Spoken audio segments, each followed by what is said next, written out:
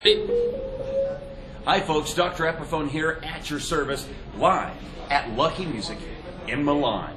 And what have we got here? This is an Epiphone Les Paul Custom GX from Epiphone's Prophecy Collection.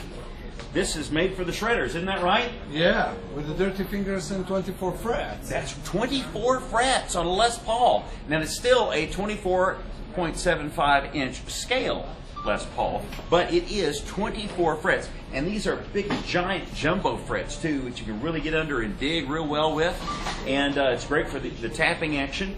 Um, also, it has a lovely custom blade inlay. And this is an ebony fingerboard, isn't it? Ebony Eb- real ebony fingerboard. Um, notice the two knobs. and only two knobs. That's right, because you only need two, because you don't have time for the others. This is the uh, lovely black cherry finish on a quilted, real quilted maple top. Of course, it has the lovely gold hardware. Uh, this, by the way, is the Epiphone LockTone hardware, which gives you 20% more sustain because it locks into place. And of course, uh, the Dirty Fingers, these are Gibson USA Dirty Finger humbucker pickups. These are one of the hottest passive pickups available from mankind. And you'll get it here in the Epiphone Prophecy Les Paul Custom GX. But wait, there's more if you order now. You'll also get what's on this one coil tapping. Yes, that's right.